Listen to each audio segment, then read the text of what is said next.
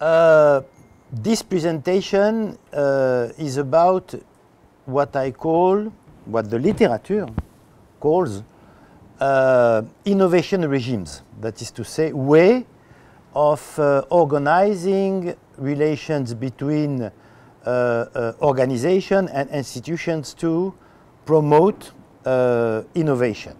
There are many different ways of promoting innovation. Uh, R&D is just one of the means to be deployed for an efficient innovation system. Qu'est-ce qui se passe là Okay.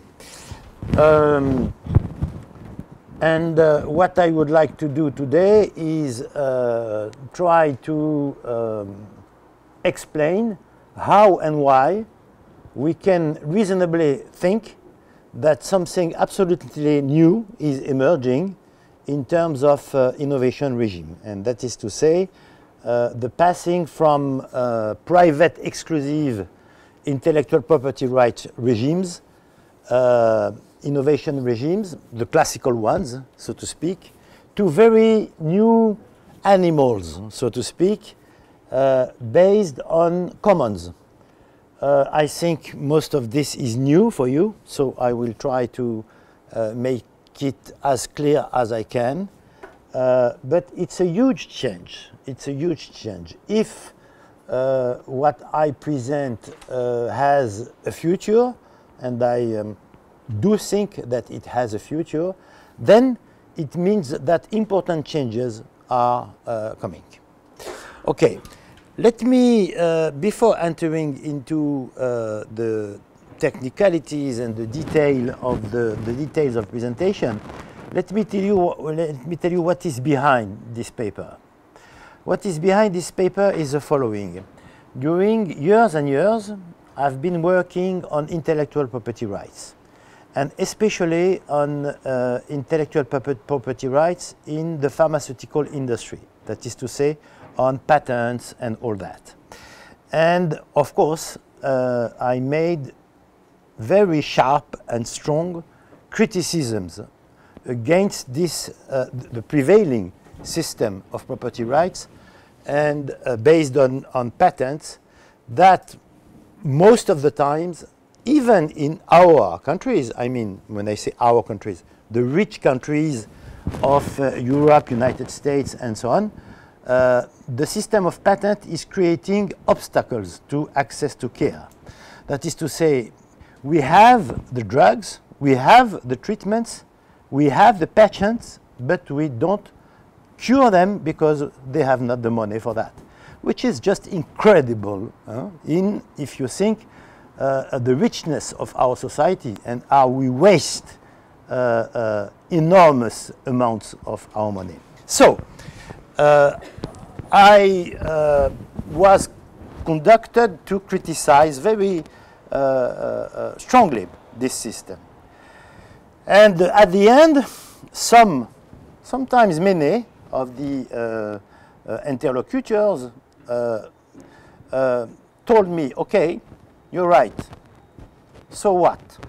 What can we do? Uh, what they have in mind is just is, is that we were captured in a zero-one alternative. That is to say, either full exclusive private property rights on one side, or zero property rights on the other side. And it is absolutely clear that kept in that alternative, it's very difficult to find solution. Uh, the reason why I wrote this paper, the reason why more generally I'm writing on this new animal name uh, commons is that because uh, uh the approach to commons uh, gives other alternative than the real one. It, it gives different possibilities to deal with property rights uh, uh, without taking uh, absolutely impossible positions, I mean impossible in terms of realism, in terms of possibility of uh, achieving solutions. So, uh, behind uh, this uh, theoretical paper, you have this very uh, practical and uh, social issues. how can we deal with topics that, that require to avoid private property without destroying any kind of property. Okay, I hope that at the end of the presentation the things will uh, become more clear for you. So, aim of the presentation. I uh, pretend to focus on, on some specific institutional arrangements, uh, often defined as knowledge commons. This is a kind of commons. I, I'll come back on this later. You have natural resource-based commons, you have informational commons, you have knowledge commons, you have urban commons, shared gardens, and, and, and all that. Uh, this time I focus on knowledge commons uh, that are designed in general to implement shared access. This is, this is a code word, word huh? this is a keyword. Huh? To implement shared access to information database to generate new community of innovators sharing their, contribu their contributions and results. And you can intuitively understand that this particular uh, animal, this particular uh, uh, institutional arrangement, as such, is an alternative to private intellectual property rights. Um, moreover, the ambition of the, of the paper is to uh, show, to demonstrate how these new institutional arrangements can give rise to new regime of innovations, uh, defined as commons-based regime of innovation. On the notion of, of commons, I'll come back later on. And for the students of the option A, you will have 27 hours of classes on commons. So I hope at the end you will understand what is it about. Um, okay. The organization of the presentation. First, I would like to provide some element of context and history. Uh, that is to say, explain how, on what principles, the uh, innovation regimes were based uh, traditionally, when I say traditionally, I, I, I refer to the 20th uh, century and especially uh, in the period of the second uh, post of the uh, second of the post Second World War, where the the modern system of production of innovation were installed, and this has to do with what we call the open science principles. Uh, the open science principles. They are grounded on some theoretical works, I'll come back on it, and on some very important, let's say, official reports uh, uh, uh um, addressed to the uh, American administration and that had very important consequences in terms of uh, the elements of uh, a regime of innovations. Then uh, I will insist on the fact that beginning in the late uh, 70s, in the middle of the 70s, uh, these uh, open science principles on where the regimes of innovation were grounded were diluted, were attacked, and to a certain, a certain extent, were destroyed by the financialization of innovation, by the financialization of R&D. I'll come back on it in a minute. Uh, and this has created a very difficult situation for uh, the uh, community of researchers and for uh, innovation regimes as such. So emerged a series of alternatives to try to uh, uh, oppose the financialization of, of, of, research, the dilution of the open science principle. And these are basically two, two movements. The one is the famous FLOSS, Free Open Source Software movement, uh, that was in the beginning directed against the enclosure of uh, uh, uh source code in, uh, uh, in software. more generally, it was designed to reopen the possibility of community of innovators to collaborate, communicate, uh, and all that, especially in the domain of software, but more largely in the domain of information uh, databases. Uh, let me be clear. Wikipedia, huh, something that we all use, is a direct son and probably the most famous son of this movement. What is Wikipedia, it is a database open to uh, uh, anybody. It's universal access without any restriction. And the com community of contributors is without limits. You can contribute to enrich the database. Of course, you have gatekeepers that take care of the quality of the information introduced in the database. And think to the power of this mode of creation, because you create a database, you enrich a database, and so on. Think to the power of this of this uh, uh, uh, uh Wikipedia, with all the limits it has. We, we can come back on this, but look to the power of it. In less than 20 hours, it has destroyed all the private uh, uh, uh, uh, databases uh, offered in the public. The famous Encyclopedia Britannica has failed. It has closed its doors. It's finished.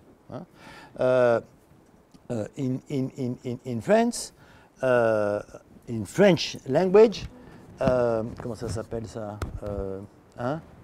Voilà, Encyclopédia Universalis, that was the equivalent of Encyclopedia Britannica for the French uh, language, has closed a few months ago because it's impossible to uh, uh, uh, compete with the power, the richness of such a universal community of contributors. Just, just a point for, for, for you to understand well. Uh, Encyclopedia Britannica during a certain time tried to resist to uh, uh, Wikipedia. And one of the arguments was, oh yes, uh, there are many errors in, in uh, uh, Wikipedia. The guys of Wikipedia answered, yes, it is true, it happens. It happens that the gatekeepers don't do their job perfectly and that they let some errors. But look to this, this, this, and this. You have a lot of errors in Encyclopedia Britannica too. The only difference is that we are able to correct our er errors in less than six months. You need at least 10 years to correct your errors. That is to say, the new edition. That is to say, during 10 years, you just diffuse uh, uh, uh, uh uh, things that are not true. Uh, this to give an idea of what can be uh, the, the, new regime. The other uh, source of uh, renovating the, uh, the, the innovation regime is what was theorized under the name of knowledge commons. I'll come back on it in a minute. And then I finish with some consideration about state policies.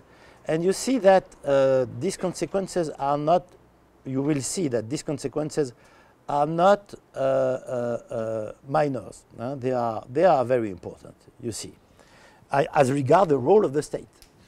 First, elements of context. Why the need of a new of new organization of new organizing principles for research and innovation activities? uh, I come back to history. Once upon a time, once upon a time, not too far from uh, now, uh, we had the uh, open science principles. Context. The open science principles comes from uh, basically uh, something terrible. The, the, the, the, terrible thing is the Manhattan Project.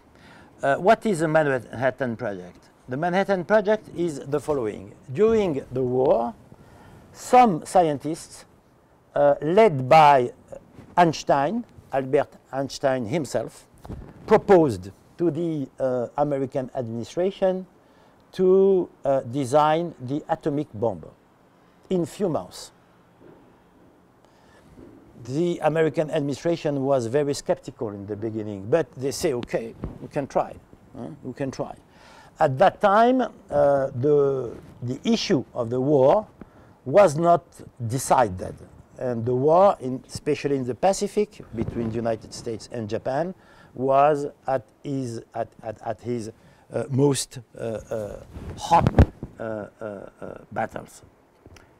And as incredible as it could appear, these scientists were able to design the atomic bomb in few months. Of course, this has changed the course of the, of the war. Uh, but the, the, important point is that the American administration was absolutely shocked, not by the bomb, uh, by the power of science, the ability to create absolutely radical innovation uh, uh, in, in few months, in few months. And uh, at the end of the war, they asked a certain Bush that has nothing to do with the, the former presidents of the United States to write something about how to take advantage of this power of scientists. And this is a famous uh, uh, report, Bush report, under the title Science as Endless, Endless Frontier.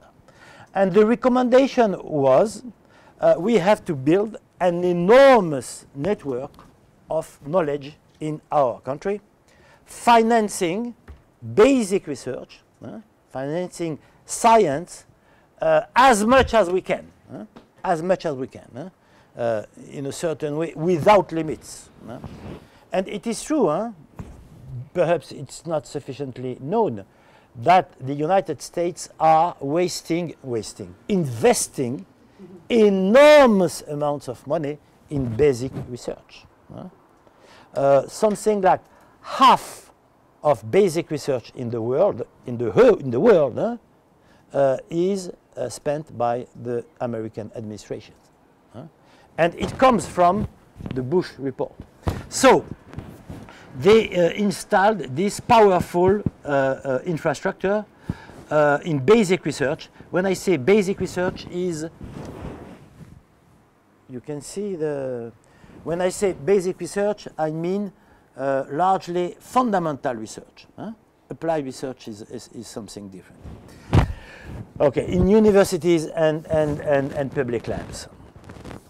And uh, slowly, uh, around this basis was created an ethos of R&D, an ethos of uh, research and development. Uh, one famous sociologist, uh, Merton, uh, has formalized this ethos. And this ethos is the ethos of the open science. Uh, what is open science? Open science is based basically on three principles. First principle is free access and open disclosure of basic research. And basic research largely publicly funded. That is to, stay, to say, the state use uh, the, the, the, the, money from taxes to finance uh, basic research. And this basic research is the it's a commons. Huh? It's a commons. Huh? It's on open access and it's freely made available in scientific journals. Today, in uh, uh, uh, database, databases on the web, but at that time on a scientific journal. This is a key point, uh, because this is the, the, the, the, the common reference for all the scientists. Then uh, second principle, uh, uh, well, coming with this principle is the idea then that you have a patent system, what we can call what Paul David, a famous uh, economist and historian of science, calls kingdom of technologies, as opposed to open access. Kingdom of technologies because they are privately owned, covered by patents. But this is a very important contribution of Arrow, another famous uh, uh, economist, Nobel Prize winner. Not all the Nobel Prize winners are very good, huh? but Arrow is very good. Arrow is one of the goods, no doubt about that.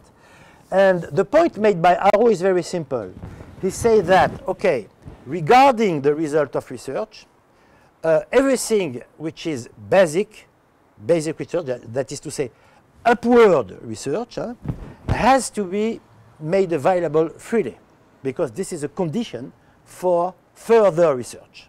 Okay, and then what is uh, uh, a strict application of with uh, uh, an, an industrial use proven and all that can be patented. It's not the best uh, uh, solution, but it's an acceptable solution to create incentives for firms to invest.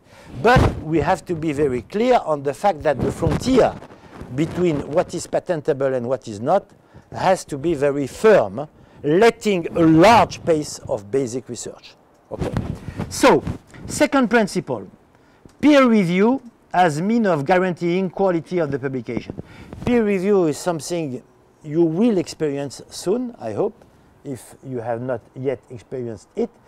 That means that if you want to publish a paper, you send it to a journal, and the journal gives the paper to uh, people supposed to know something about uh, the issue, and they control the quality. Peer review is not the best uh, system for guaranteeing the quality of research. It has some bias. Uh, we can come back, we will come back on this in, in, in the class for the people of, of option A. But more or less, it's functioning. It's guaranteeing a certain quality of the paper published, especially in uh, uh, uh, uh in science, in, in, uh, in hard science, and uh, because their ideology plays a less important role than in social sciences. Then you have the rule of priority. What means the rule of priority? It means that your name is attached to the publication with the date of the publication, which gives you a priority in terms of reputation.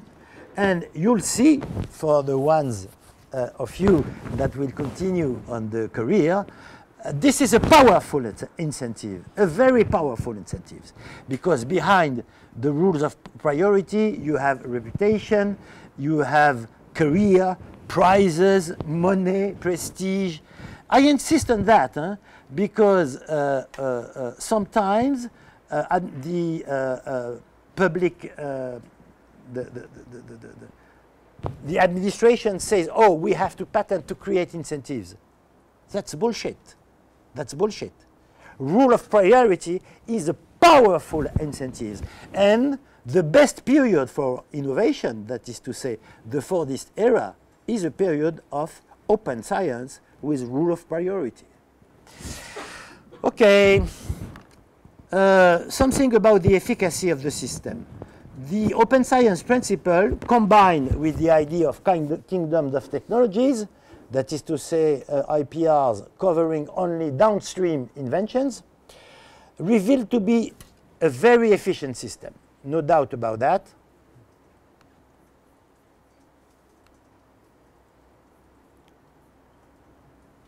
Um, the whole system was congruent with the rise of the large Chandlerian form, the famous M form uh, described by Chandler. In the M form, the modern enterprise described by uh, Chandler, uh, one of the characteristics of the uh, uh, uh, M enterprise is that it has internalized laboratory of research. And what is important is that uh, uh, during this period, you had a very narrow market for inventions. Why? Because you have first this domain of open science, covered with uh, uh, open access. Second, most of the applied research was done in firms, but not to sell the products, either to use it or to keep it secret to prevent competitors from uh, uh, uh, using the invention. What I want to say, you will understand that later on, but let me insist on that. What I want to say is that a market, uh, the, the, the, the, the most efficient period for innovation was a period where science was not marketable, when the market for invention was absolutely narrow, uh, when invention was performed either through the means of open science or inside the firms that has sold very few of their results. They largely preferred to keep it secret than to sell it. So this idea that uh, uh, uh, uh to uh, uh, have an efficient R&D innovation system, you have to marketize science has absolutely no ground. No ground. It's a pure ideological proposition. We will come back on this later on. I think that some of you uh, come from uh, uh, uh southern countries. Just to say that this period was, uh, for developing countries, a period of learning by imitating. Japan, Korea, Taiwan, etc., could use many of the uh, uh, uh, inventions, discoveries freely. There were at that time no uh, serious limits to reuse the knowledge uh, available. And you cannot, absolutely cannot understand uh, the success of Japan, Korea, Taiwan without referring to the fact that we were in a period of open science, which is completely finished. Huh? because now with the TRIPS agreement, trade, trade uh, intellectual related property rights, everything is covered by patents, even in the global south. Dramatic changes of the 80s. It happened that during the 80s, this whole system was uh, under uh, very, very, very high pressure and was uh, dismantled, so to speak. First, you had what we call the Bayh-Dole Act. The Bayh-Dole Act is an act passed by the United States in the, in the, at the end of the 70s that allows to patent publicly funded research. This is just incredible. Huh? This is just incredible. Why? Because Arrow, Arrow's recommendation and recommendation of the economist is, okay, you need to create incentives to uh, uh, uh, facilitate, to generate innovation. And you have two, two types of incentives. Either it's the research is publicly funded, okay, with public money, then it belongs to the public, the result, result public, and it is put in uh, uh, uh, databases on open access, or it's a private effort and then you can patent it. Okay? Now, now you can patent even what is, what is publicly funded research, which means that the citizens pays twice. He pays as a taxpayer to fund the research, and he pays as a consumer to use the result of the product he has paid for. And all this to the benefit of companies that can buy for quite nothing uh, the results of publicly funded research to the universities and appropriate it. It's a pure scandal. It's a pure scandal. And this is the entry of the marketization of science, which is uh, attacking uh, the pillars of, of, of the open science principles. Second, uh, something even worse. Uh, you have new patentable matter, matters. You remember the key rule for open science is uh, to protect basic research for uh, uh, patenting, for, uh, for from private appropriation. Okay. Uh, through uh, court rulings, very important ones, the frontier between what is patentable and what is not has completely changed, opening the possibility to patent even pure basic research. Uh, I don't know if you are aware about that, but it's one of the most important scandal as regards science of the last uh, 13 years. Human genes, the codes of human genes are patentable. That is to say, your genes, my genes are private property of given firms that can sell it. It's something just incredible, incredible, okay? And this was done in the beginning, you know, some firms try to patent genetic, genetically, genetically modified organisms. Uh, uh, uh, okay. And the USPTO, the US Patent Office, says, no way, this is just impossible. This is not patentable matter because this is living entity. Finally, it went until the Supreme Court in the United States an important point for, for you to understand is that the, the, the, the, Supreme Court in the United States is absolutely not like the Cour de cassation in France, for example. Uh, uh, in France, every uh, ruling, every, um, uh, comment on dit ça, uh, un procès, uh, oui, trial, has to pass to different levels, you know, and this is mandatory. And at the end, uh, the Cour de cassation, the, the equivalent of uh, uh, Supreme Court, is obliged to give a final uh, evaluation. In the case of the United States, it's completely different. Huh? The Supreme Court chooses what she wants to examine. And if she thinks it has no interest, she just never examines it.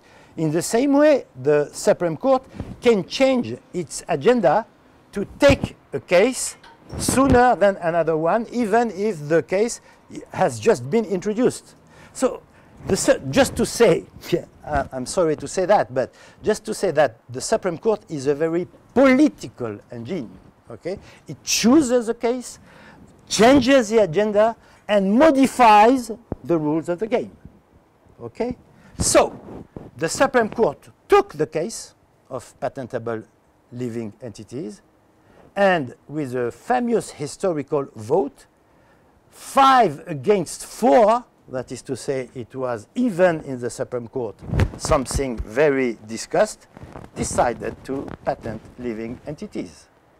The, the following day, the following day, the Wall Street Journal wrote a paper on first page eighth column, the Supreme Court has given a bright future to our biotech industry. Why?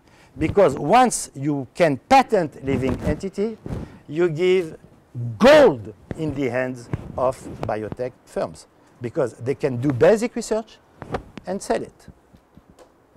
Okay, in the same period uh, uh, where uh, became patentable uh, software and more than software and more than software, mathematical algorithm used in software. Mathematical algorithm. There is nothing more uh, uh, uh, related to basic research than mathematical algorithm. This became patentable matter. Uh, you can ask why. Huh? It's a long discussion. It's very simple. Because in the United States at that time, the, uh, uh the, the, the, the, the, the, uh, competitive uh, state of the, of the United States was in very poor condition. They were beaten by uh, the Japanese, by the Europeans with Airbus, uh, and for low uh, high-tech industries by uh, uh, Brazil, China, and all that. So the two sectors where they were still strong were information technologies and biotech. And by uh, creating a situation of uh, patenting basic research in that domain, they were guaranteeing rents for, the in, for their industries, for their two emerging industries. Okay, you had the copy, copyright law, and the, the, the protection was uh, extended to 70 years. Do you know how we call the, this extension of the co copyright law from 50 to 70 years? Ah, you don't know. The Walt Disney law, because uh, at that time, uh, it was the time for all the creation of Walt Disney, Donald Duck and all that, uh, to enter into the public domain, because the period of uh, uh, protection was ending. So the lobby of the entertainment industry, led by Walt Disney, obtained a prolongation of 20 years. And I am re ready to bat the day where again uh, Walt Disney will be in danger to, to fall in the public domain, we will have an extension. Or a way to protect the specific design da, da, da, da, da, da, da, for 100 years. I'm absolutely, I'm really to bet. Huh? We, never the Japanese because they are very good in, in, in this uh, uh, particular industry, will be able to use Donald Duck, Picsou, and all that. Huh? You can, or, or, or Blanche Neige. Huh? It's, it's absolutely out of any uh, question. Okay, then you had the TRIPS and the uh, uh, worldwide, uh, the worldwide upward harmonization of the IP standards. So, just to make clear that the principle of open, open science were very strongly attacked, okay? And uh, we, uh, uh, which consequences?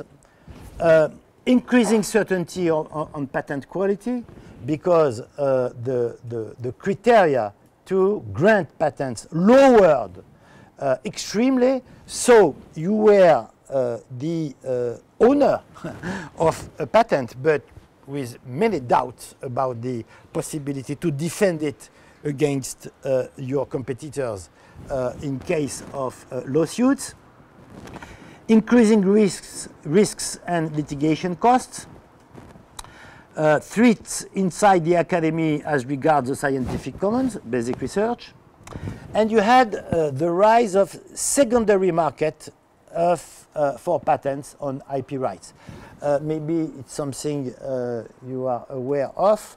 Now you have what we call trolls, companies that buy uh, patents not to use it for innovation, but only to uh, uh, create a relation of power against the innovators and extract money from them uh, with the threat of not letting them innovate and create problem with the patent they have. And the point is, you never know at what point these guys are really in condition to uh, create problems for you. But you cannot take the risk. You just cannot take the risk, you know. And you have a very uh, unhealthy situation where, you know, patenting is not, the buying of patents is no more for innovation, but to create problems to innovators. Uh, it's, it had reached the contrary of the uh, uh, uh initial idea. Bon, increasing tensions in the uh, international relations, drugs uh, access to care, biopiracy, and so on. Yes, just a word. we in France are hosting the COP uh, uh, 21, huh? 21st, uh, for against climate change. Yes, okay, let's go to face climate change with private property rights on clean technologies. Do you think it's just uh, uh, uh, uh, uh thinkable to ask the third world countries with their level of revenues, okay, to do things against uh, climate change with enormous rents taken by the countries of the north on clean technologies? It's just ridiculous, you see. It's just ridiculous. And this is the situation where we are, you know. All the clean technologies, the existing ones uh, and the future ones, are covered with hundreds, forests of patents, you know. And the idea is, ah, the third world countries are polluting very much because they use old technologies and so on. They have to do efforts. It's just ridiculous, you see. It's shocking. Okay, second point.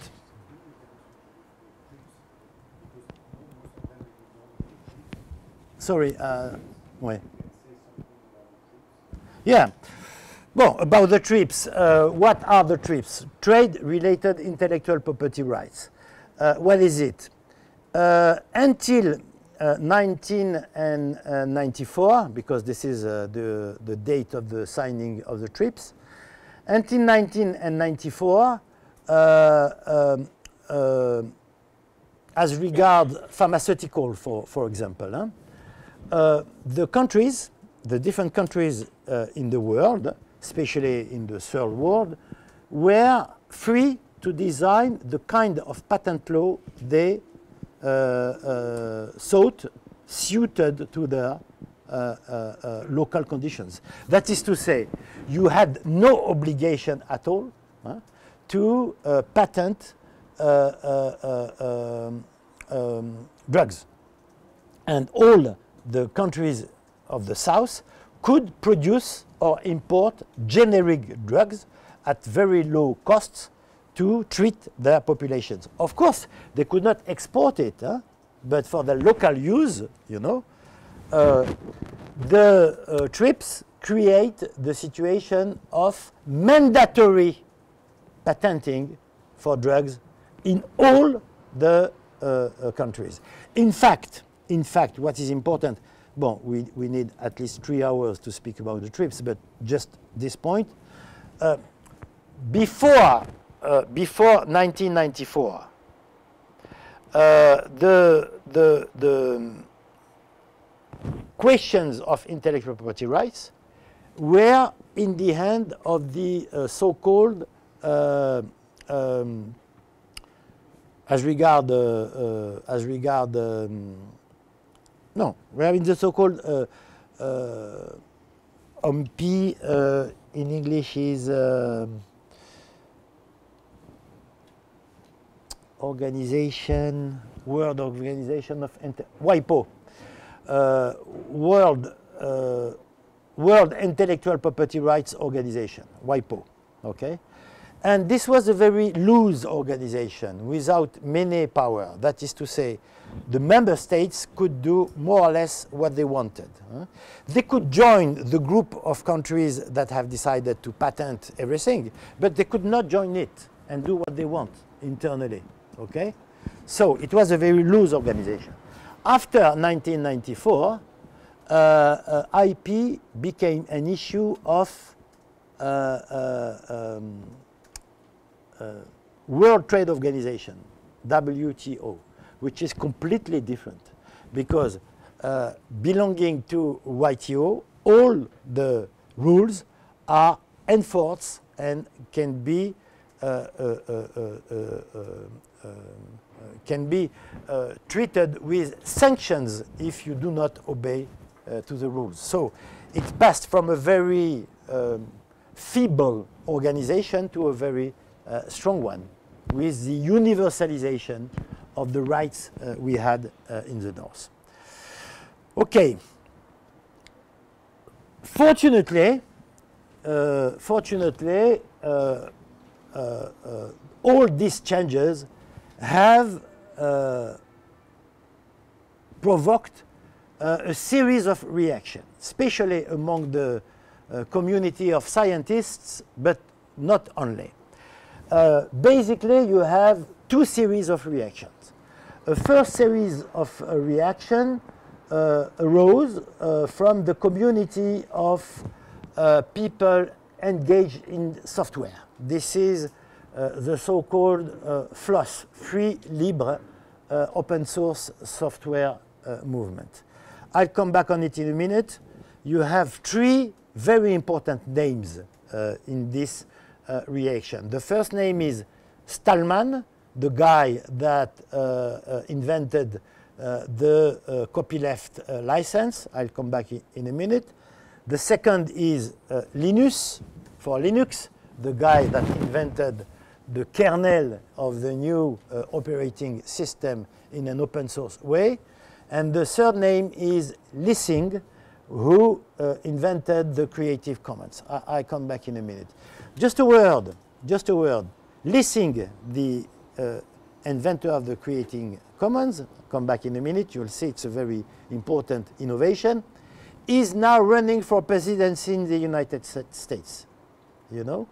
Uh, of course, he is a very marginal candidate, but he wants to use the campaign to publicize a certain uh, series of things he thinks, uh, he thinks are not going well in the United States. So just to say that this is a guy with a certain uh, energy.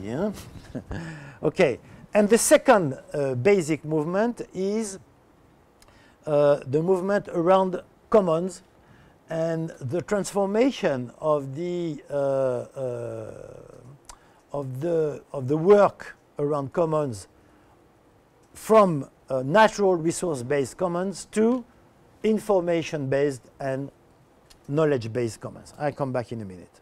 First, uh, the free, libre, open source software movement. Uh, what is it about? In the beginning, in the beginning, the FLOSS uh, movement was a movement uh, led by uh, especially Stallman, a guy from the uh, MIT labs, against the, the enclosure of software. When laws on allowing to copyright and to uh, patent uh, software were introduced, when these laws were introduced, it was a radical change because at that time, the 70s and, and uh, until the 70s, um, the uh, uh, uh, companies from the I, information technology sectors were selling hardware. They were selling computers. The soft was for free. And uh, uh, the community of uh, developers, programmers could cooperate to elaborate more and more sophisticated softs. Uh, becoming uh, in the 70s, guys, famous guys, heroes of our times, like Bill Gates, like, uh, uh, comment il s'appelle l'autre de, the guy from Apple, uh, uh, Tim Cook, and so on, uh, they understood that soft could be Uh, gold, you know, and they managed to create uh, groups of uh, lobby, and they finally won the case, and software became patentable. For that guys, uh, for that guys that are now known as the hackers and so on, for that guys, it was a pure scandal. Uh, it was a pure scandal because for many reasons they thought uh, uh, information was key, knowledge information was key for the future of humanity, and information and knowledge has to be maintained in free access. Uh, a detail, which is not a detail, uh, for you to understand why these guys were so much shocked. And I have to say that I have an enormous admiration for them. Huh? Stallman is really something, some, something, someone very, very respectable. What was behind?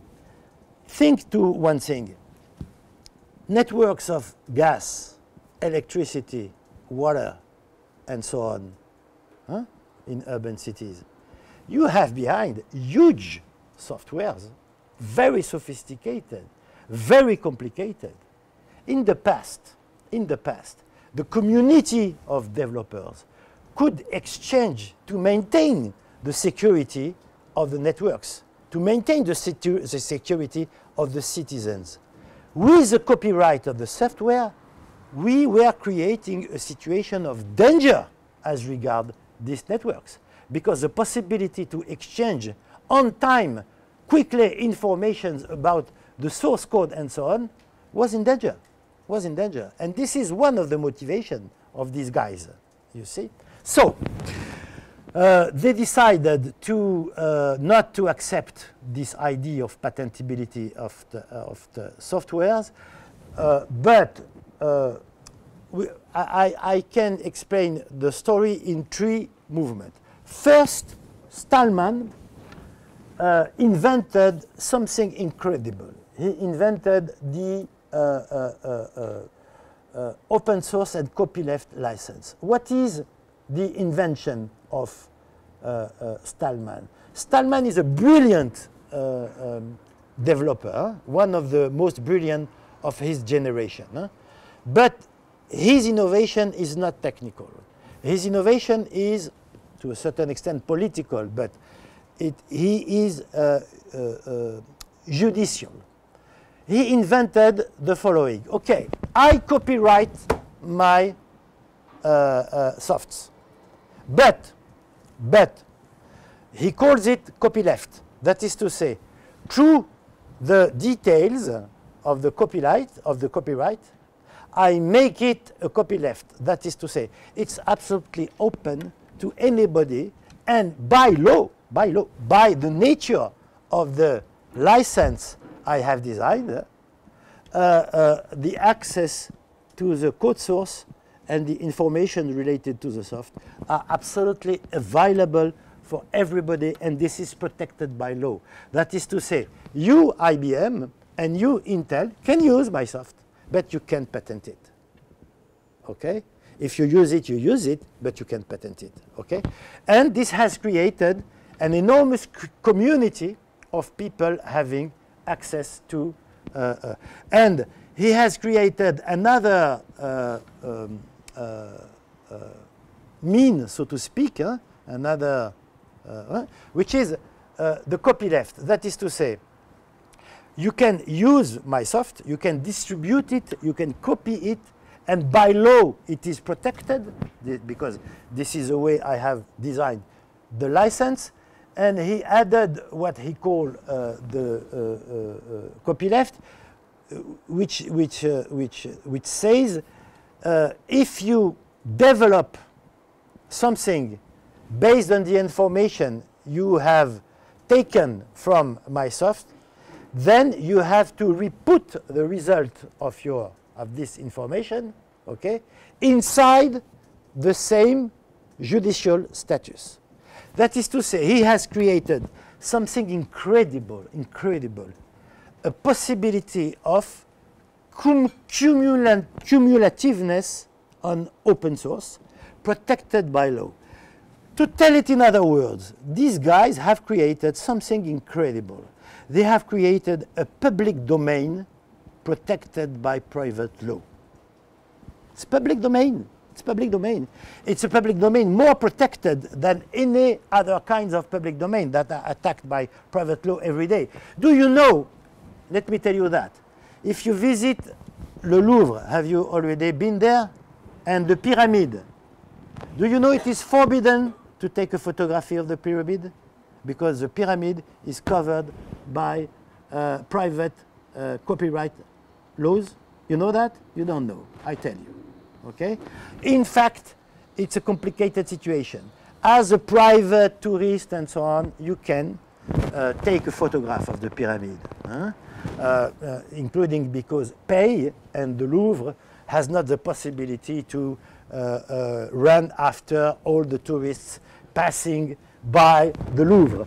But if you use this photography uh, for any public use, then you are in danger to be prosecuted. This is the so-called public domain. This is the so-called public domain. B because the right, the, the image right of the pyramid has been sold to Pei and a society created by Le Louvre. Bon. With Stallman uh, and this uh, um, uh, copyleft uh, license, you have a public domain protected. This is the creation by Stallman. Then come Linus, Linus That has given rise to the famous uh, uh, uh, free software Linux. Bon. What has done Linux? Stallman has created the license. Huh? It's, it's, a judicial innovation. And he's a great designer, a great developer, but he has designed his soft in the traditional way. That is to say, uh, that is to say, he and few developers controlling everything, you know, this is a so-called cathedral model. Huh? Yeah. Okay. What Linux, uh, Linus, Torvalds Linus, has done is invented uh, the what we call the bazaar model. That is to say, a situation where one developer uh, uh launch the idea of creating a soft, launch the first uh, lines uh, and the concept of the soft, of the soft, the new soft, and opens it to communities of innovators to contribute to the soft. Of course, under his direction, okay? And he has created a new mode of uh, uh, creating softs, okay? By using large uh, communities of innovators. So, uh, if you add the two innovations, you have on one side uh, an innovation that by law protects the openness, and the other side you have a system uh, opening the creation to uh, large communities. The fusion of the two principles okay, has created a new mode of producing innovation. Okay? The third guy in the story is Lessig. Lessig has invented, uh, what is important with uh, Linux is that Linux has no judicial innovation. His innovation is purely uh, uh, uh a way to uh, open innovation to different communities of uh, uh, uh, innovators and ways to coordinate the efforts to build new softwares. The third guy is Lessig. Lessig has worked more on copyright. And what he has invented is a series of intermediate licenses we call Creative Commons licenses. Uh, what the different licenses are saying?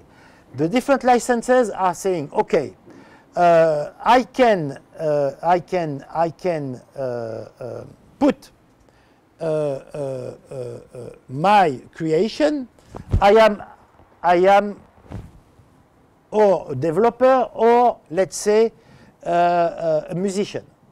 Okay, I create a new uh, music.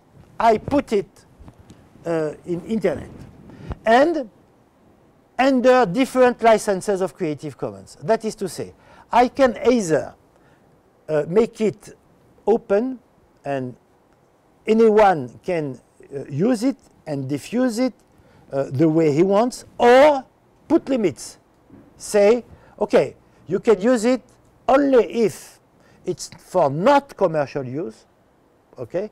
Uh, uh, uh, if you respect the integrity of the whole text, and if you put the name of the author, my name, on your diffusion, you know? But you can, you can put or not put these limitations it's up to you. And you have different combination, you know, of uh, uh, authorization and restriction, which uh, creates different types of uh, uh, uh, Creative Commons licenses. So,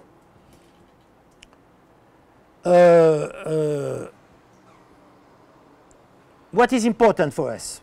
What is important for us is that through this series uh, of uh, innovation uh, that you, we can generally attribute to the FLOSS movement, we have created a series of new, at the same time, tools and means of producing innovation uh, uh, uh, through modes of cooperation and licensing. And this, of course, can be used by community of scientists to create innovation. Yeah? They can decide to create a joint database, okay, open to the members of the database that accept given rules, and they can share the benefits of the results. They can decide either to, be, to make it open to the outsiders or to maintain it as a private shared property of commoners. You see, you have different possibilities. Okay, uh, last point, Ostrom and uh, uh, um, uh commons-based uh, uh, modes of innovation. Bon, about commons, I, I can't enter into many details. What is the idea of commons? What is, what is the point? Uh, the point is the following.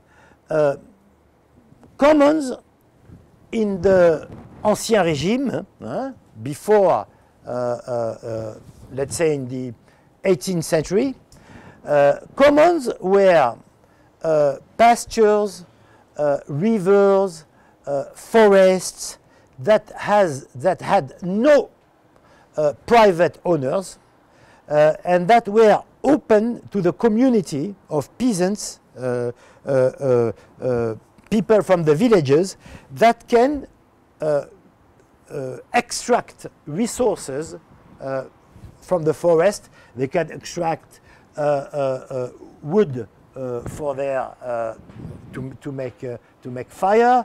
they can extract fruits. They can extract different kinds of goods.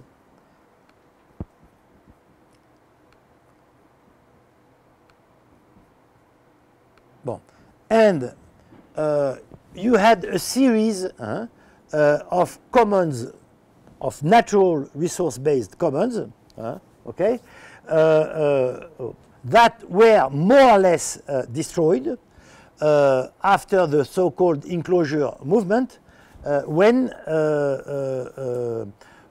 bon, they decided to introduce private property into these shared attributes.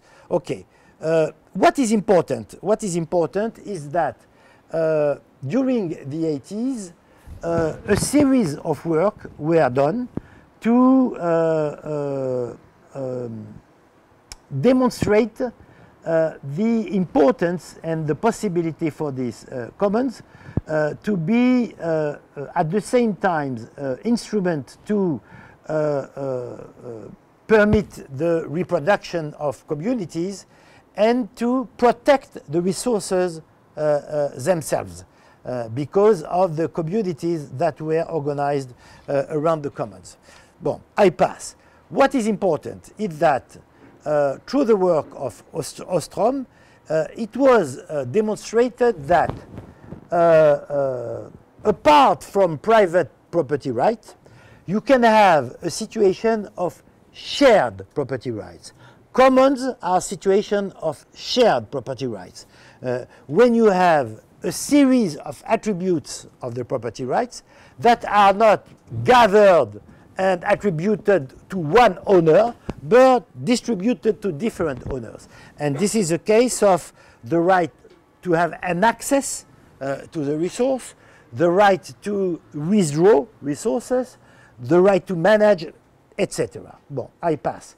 Uh, uh, what is important is that at the end, we could define a commons uh, by three elements.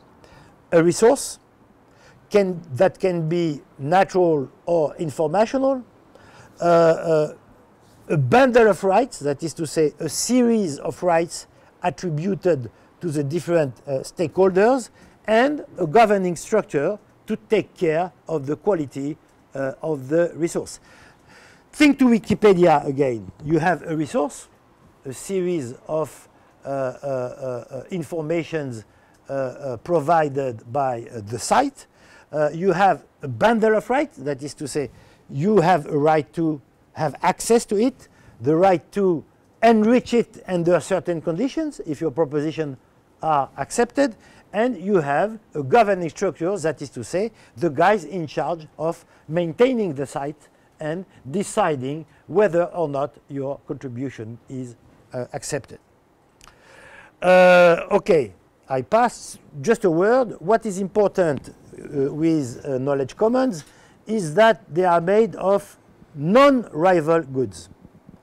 That is to say, what is what means non-rival goods? It means that you can use a given resource, I can use it, millions of people can use it without destroying any quality of the resource. So, what is important with uh, uh, uh, informational commons is that they are naturally, they naturally can be open to very large communities of people without any risk of alteration and destruction, which is not the case of natural-based commons.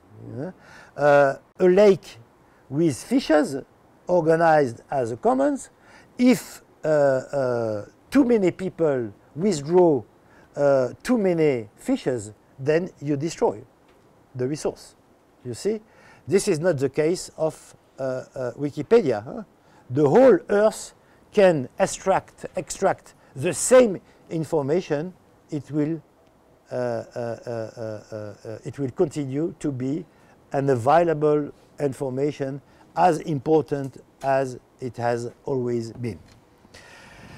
Okay. Uh, what is important is the following, is the fact that uh, a series of uh, knowledge commons uh, were created by a series of uh, uh, community of innovators that decided to work in common to produce new informations, new knowledge, and they decide different ways of distributing it, either absolutely for free, either, either at different prices, different de uh, depending of the uh, potential uh, uh, uh, communities of people interested, and so on. The important point is it's a new way of producing uh, innovation. Okay, I finish. Well, my last word is just to say the following. traditionally, traditionally, traditionally, uh, uh, the state plays a role uh, as a provider of Uh, regulations, as a provider of uh, uh, funds, investments, as guaranteeing different laws, situation, rules, and so on. The state has to continue with this. But the important point is the following. With the uh, uh, surge, so to speak, of the commons, uh, there is a new role of the state uh, to act no more in the name of the citizens, but with the citizens, as a partner of a citizen, as an enabler. My last word is just to say uh, with the with the the, the, the, the emergence uh, uh, of the commons, the state has a new role to be a facilitator and enabler, you know, of the functioning uh, of this community. And uh, this is a very, very, very important point. Uh, the state can now and has now to operate as an actor to operating together with the citizens and more or less to a certain extent as as the same level. This is very important because as you may know there is some crisis of legitimacy of the state. This new role of the state can be at the same time a way to strengthen uh, efficiency and to make some progress in democracy and re, uh, uh, uh re, re-legitimate the state as an operator facilitating the initiative and the activities of the citizens. And in the case of innovation, this is a fantastic multiplier of uh, efficiency. Okay, this is what I wanted to say today. Thank you for your attention.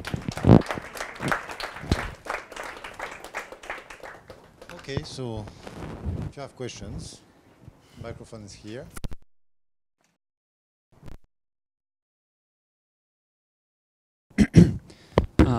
I wanted to ask you um, to when you talk about commons, on especially in computer sciences, um, what can be really defined as innovation, or do we need a frontier to innovation or a broad definition of innovation? Because, for example, when you take Wikipedia, on Wikipedia, you don't have to, the right to put original work on Wikipedia. Everything has to be with source and from work which has been made outside of Wikipedia. And if you take um, Stallman's GNU project, um, it's just like a new implementation of Unix standards, which was a former operating system which already uh, existed. And um, like, of course, Stallman asked people uh, contributing to GNU to to code it differently when they try to implement a function which was in Unix, so they, they won't be attacked by uh, Unix copyrights.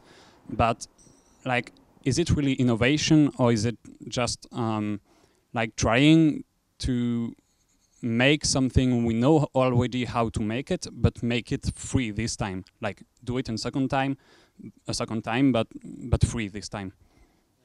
As you may know, uh, the license uh, uh, designed by uh, Stallman uh, was uh, entitled GN, GNU, which is which means G. I don't remember. G is Bon, which means is not Unix, is not Unix. Because, okay, we speak as specialists, huh? uh, but for the others, because uh, the terrible experience of these guys, of, of these free uh, uh developers in the beginning, is that many of their creations were after patented by other guys. So uh, what they did is uh, in that it's pure innovation. Create a type of judicial license that makes impossible to patent and that and that maintain the, the, the work in the public domain, so to speak. So I agree with you.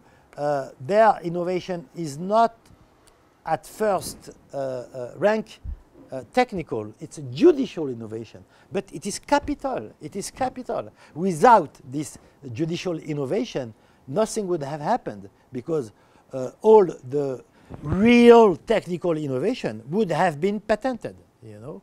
So uh, the answer to my answer to your question is yes, it's a tremendous innovation, but a judicial innovation. They have created a new type of license.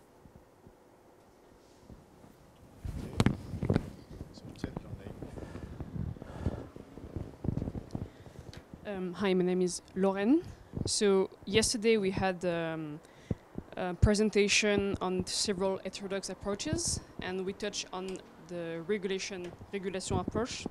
And I would like to ask you, how would you articulate your current work with the regulation approach? So you touched on a bit on the states, but do you, you think that this will be a new, I think he mentioned accumulation re, uh, regime, or I mean, how can you articulate the two?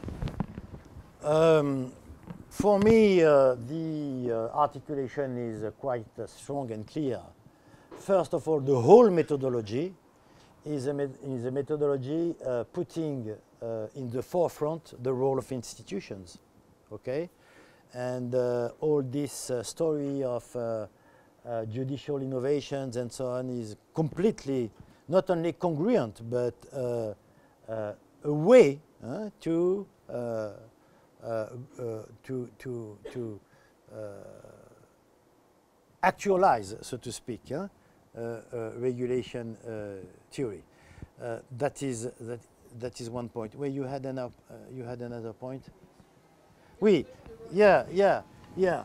Uh, of course, what what what I said at the end of the uh, uh, first part, that is to say, uh, the uh, destruction of the open science regime and so on, uh, has to do with the uh, finance-led accumulation regime. Because I did not enter into many details, but you have understood that what is behind is the creation of a market for science as a way to promote innovation huh, uh, by the uh, uh, uh, initiators.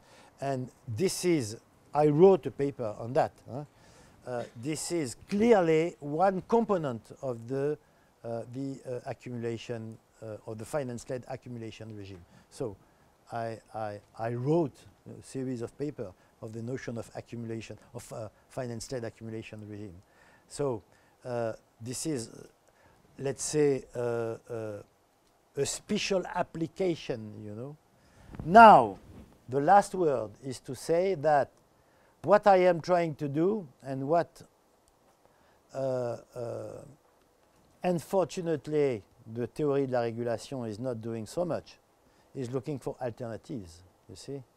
And uh, uh, what, what, what, I, uh, what, what I present as a commons-based uh, uh, innovation regime is completely congruent with the vision of the theory de la régulation, but it's not only uh, critics of what is happening, it's with the same tools, a way to find uh, uh, uh, a way out of it, out, out of the financialization of the accumulation regime. So, for me, huh, it's, uh, it's a complete congruence with this approach. Even if uh, I could say that uh, the theory de la régulation as such is just, to my view, huh, one branch of the institutionalist approach. It belongs to the same family. And, and I, I, I claim uh, this uh, appartenance of the uh, institutionalist uh, uh, methodology, approach, and, and all that. School. Okay. My name is Soman. Uh, and my question to you is like, Speak uh, more. Yeah. my question to you would be you said uh, this new ways to innovate. This is a new system that has been, that is changing old rules that we had, old institutions. Mhm. Is it possible to use this for new drug discovery? Because we have seen that there are there has been lots of problem. We have lots of history with HIV medicines. Uh, not only it is possible, but it has already been done. Uh, you have uh, many communities of uh, innovators uh, on the pharmaceutical uh, sector uh, uh, trying to work on this basis. And there is already an enormous success, already an enormous success, uh, which is a case of uh, DNDI. DNDI is, means uh, uh, Drugs for Neglected Diseases Initiative. Uh, it comes from Médecins Sans Frontières. hein. Um, it's an organization that is dedicated not to access to drugs, but to, because Médecins Sans Frontières is dedicated to access to drugs in poor uh, regions or in difficult regions and so on. DNDI was created to design new drugs. It's, it's a very different task. Okay. And they work knowing or not knowing it, you know, uh, as a commons. that is to say, uh, one of their success is a new uh, medicine for uh, malaria. It's a big combination uh, using two molecules for malaria. And how this was done? This was done the following way. First, they went to Sanofi Aventis, a big pharma, a French big pharma, that had a molecule that was probably efficient for malaria, but that was not developing it because they thought there were no market. Okay, and uh, people from the NDI said, okay, okay, you are not interested by this molecule, we are interested by this molecule. Are you ready to uh, give it to us or let it use it even if we reward it after in, in a specific way? And Sanofi said, it's okay. Then they went to Farmanguinhos, uh, Fiocruz, that is to say to Brazilian uh, laboratories, to Singaporean laboratories, to other public laboratories, and they say, hey guys, I have a molecule. Are you ready to do the clinical trials to design? Uh, uh, and they all say yes. So they worked like a common, you know, like a commons, with an open database, with exchanges between them, ta ta ta ta ta ta. And they finally were absolutely able to design a very efficient uh, uh, uh, um, uh, drug.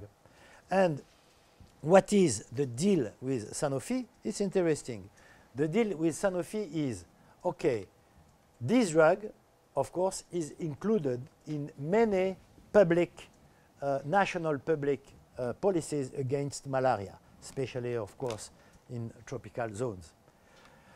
For uh, the funds that are buying these drugs to distribute it in the public uh, uh, policies, the cost is very low. Very low. It, it, it's, it's really the cost of production plus the minimum to maintain the manufacture. Okay. Now, for private pharmacy, you Sanofi, you can sell it the price you want. You see? For the people, it's quasi not for free, but now for private pharmacy, okay, you can make your money with it. This is a rewa reward for having uh, given the molecule for free. So it's a typical commons, you know. You have a distribution of obligations, a distribution of rights, you have shared access of uh, the people. It's a typical commons. So it has proved its efficacy.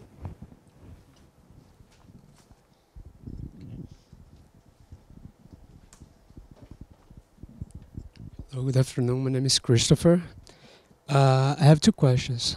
Uh, I'm trying to see from the point of view of the the firms, the producers of knowledge. Uh, this new configuration of the commons uh, regime, how the market would look like, like how, How the, they? how the market would look like, how the how they profit from the for the new products, the, how that's that's the first question. The second, is there any specific sector uh, which knowledge commons are not suitable?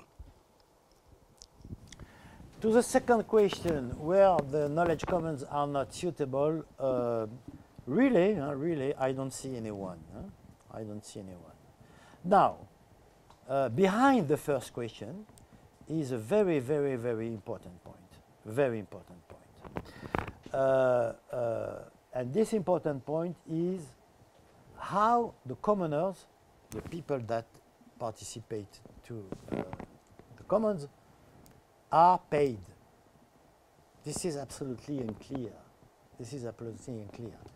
Let me tell you the following. In the case of DNDI, huh, the, the drugs on, on malaria, it's okay because the researchers were researchers from already existing public labs.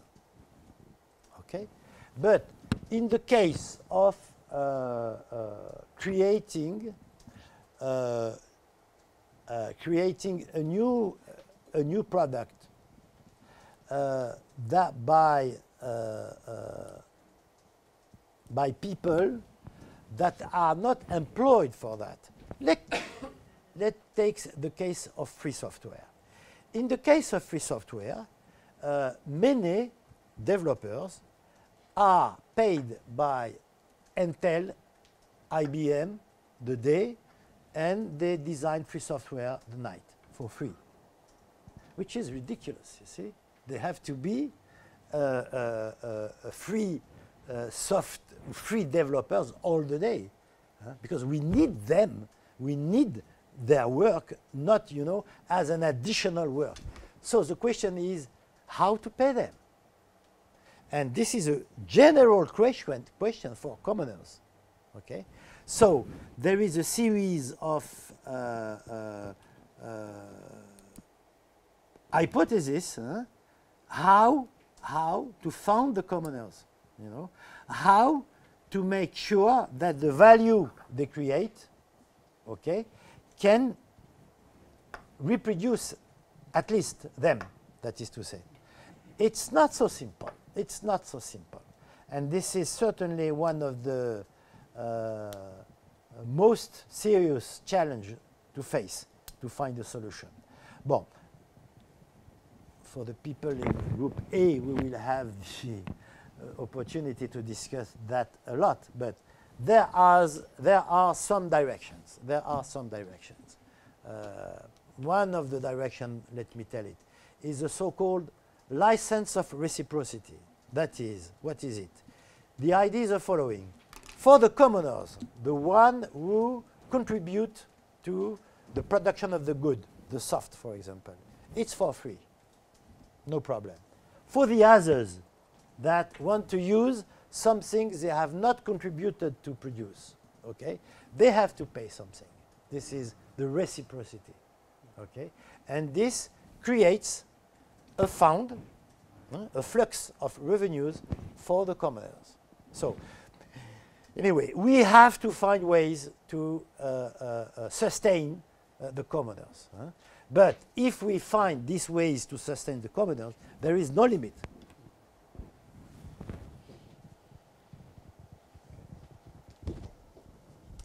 Okay, one more. Um, how do you, I don't know if you have an answer, but how do you um, treat the question of um, um, governance and who has the power in commons. I, I mean, because you, you, just said that um, many developers were employed by Intel during the day and programming for free software during the night, but many developers are also paid by Intel to contribute to Linux. That's true. So, and um, there's the Linux Foundation, and many big companies are involved in free software because uh, at the end they, they get back uh, this commons and they, they have interest for that. That's and um, how do you prevent it if it's a bad thing or is it maybe a good thing? I don't know. And what's the place for big companies in commons? Mm. okay um, it's two different questions huh? uh, I, I, understand two different questions. The first one is uh, the governing structure of the commons okay? And the second related is uh, uh what to think of this situation of this situation where uh, many contributors to the Linux kernel, for example, to, to, to, to Linux softs, are paid by their multinationals, huh, IBM and so on, to work uh, for the free software. I don't think it's a good situation. I'm very clear. I don't think it's a good situation. Why? Because uh, uh these guys are contributing to free software. No discussion about that. But uh, it's absolutely clear that IBM or Intel or any, any, any big company is paying them to contribute uh, to the softs in given directions. Th that are directions dedicated to be uh, put on open access, eh? no doubt about that. Otherwise, it's not free software. But uh, that correspond to their vision of the future of, of, of, of their interest in the future. So even free software can follow different paths and direction, you know.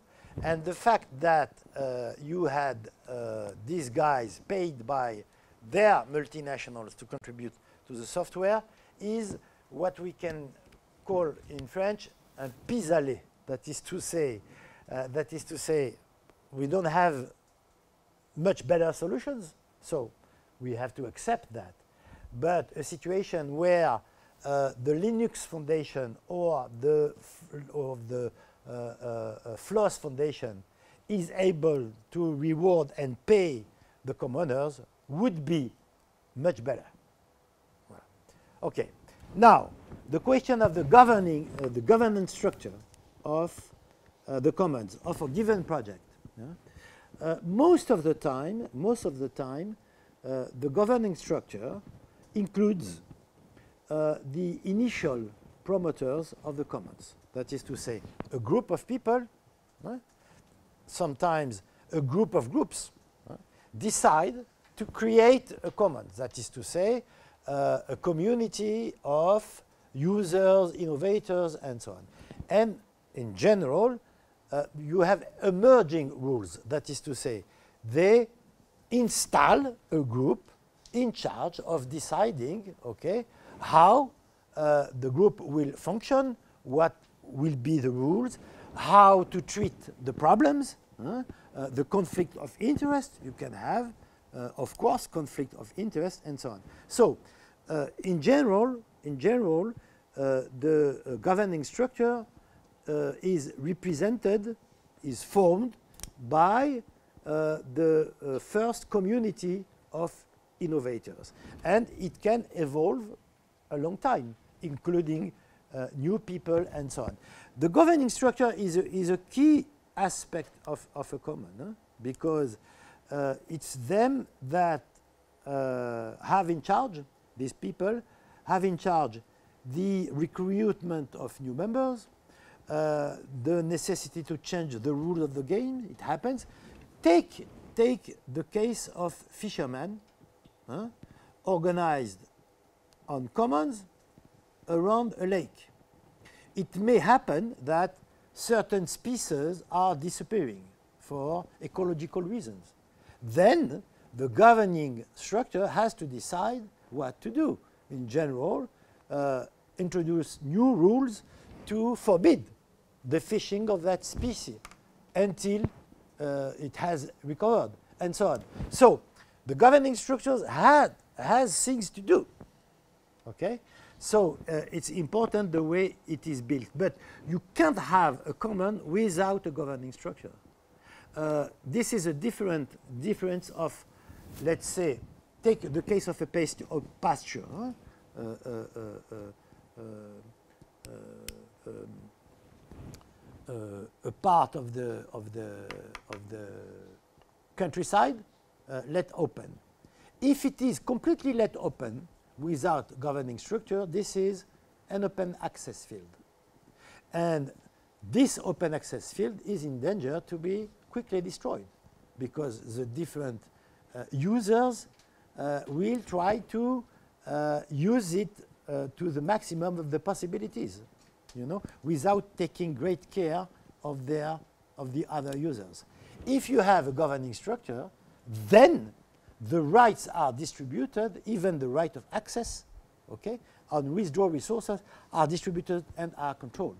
In certain pastures, in India, for example, uh, where the right to access to the pasture is distributed among different communities and so on, they have hired guards with arms, okay, to take care of the fact that everyone will respect its rights and will not overcome it.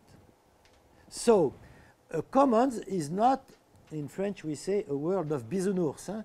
Is not a world of you know angels. Not at all. Not at all. It's a world of distributed and shared rights among people of communities, and everyone have to play his role. My name is Sophia. I have a question. Um, uh, you said that the commons is a very political question and has a lot to do with the state, and the state should play a big role in uh, dissemination of the commons.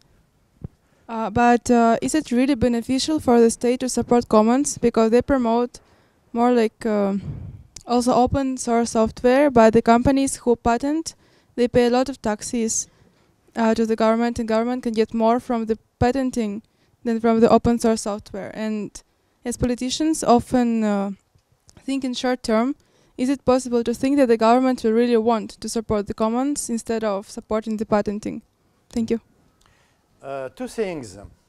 Two things. One is um, uh, the patents, the, the, the, the, to patent, to patent, you are a firm, you want a patent, you go to the patent, you go to the patent office, uh, uh, and the patent office decides whether uh, it accepts your uh, demand, grants you, suppose the case he, he, he grants you a patent. First, you have to pay for the examination. Second, he grants you a, a, a, a patent. To maintain, you can use this patent for innovation or not. But if you want to maintain alive the patent, you have to pay every year a certain quantity of money. First point, these agencies, patent offices, are not state offices. So it's not a, a, a quantity of money that goes to the pocket of the state. Not at all. So the state will lose nothing uh, in favoring other forms of innovation. He is losing nothing. This money is going to the patent offices. And it's a, it's a problem huh? because the temptation of the patent offices, of course, is to uh, grant patents even if they are in doubt because this will generate a flow of money. huh? And many patents, huh, it happens often, are attributed with uh, very uh, uh, thin uh, uh, scientific legitimacy, yeah?